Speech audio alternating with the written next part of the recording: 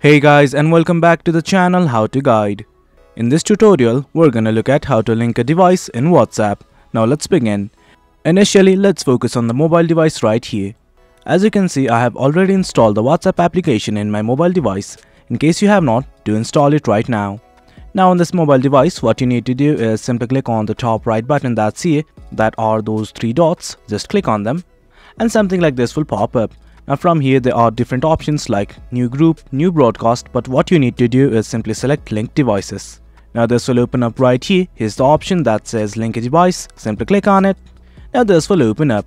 Now in the mobile device, it's asking me to open WhatsApp either on the web, desktop app or other devices. I'm simply gonna click on OK.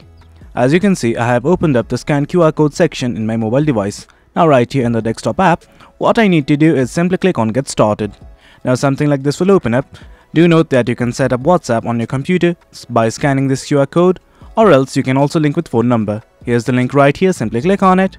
And on the mobile device, side by side, I'm gonna click on link with phone number instead.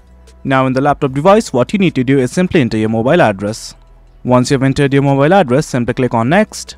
Now a code will be provided. Simply input the code on your mobile device right now. As you can see, I have almost entered the code on my mobile device. I'm simply gonna enter it right now. And there you go we are logging in to our account. Now as you can see, we have successfully linked a device in WhatsApp. Well guys, that's it. That's how you link a device in WhatsApp. Hope you guys found this video informative and for more content like this do remember to hit like, share and subscribe. Thank you.